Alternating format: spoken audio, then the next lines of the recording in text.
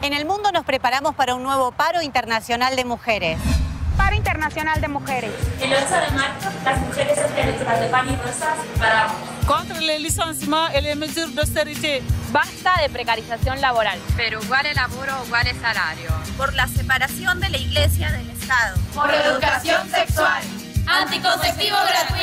Aborto legal, seguro y gratuito. Contra la violencia machista y las redes de trata. Basta de feminicidios y de transfeminicidios. ¡Ni una menos! No to Trump's wall. Por los derechos de las y los inmigrantes.